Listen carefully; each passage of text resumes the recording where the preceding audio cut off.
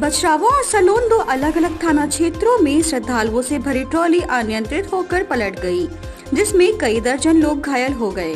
थाना क्षेत्र के अंतर्गत बांदा बहराइच राजमार्ग पर अघौरा गाँव के निकट गंगा स्नान के लिए जा रहे श्रद्धालुओं के ट्रैक्टर ट्रॉली अनियंत्रित सड़क के किनारे खाई में पलट गया, जिसमें आधा दर्जन से अधिक लोग गंभीर रूप से घायल हो गए, जिन्हें सामुदायिक स्वास्थ्य केंद्र बछरावा में पहुंचाकर इलाज कराया गया।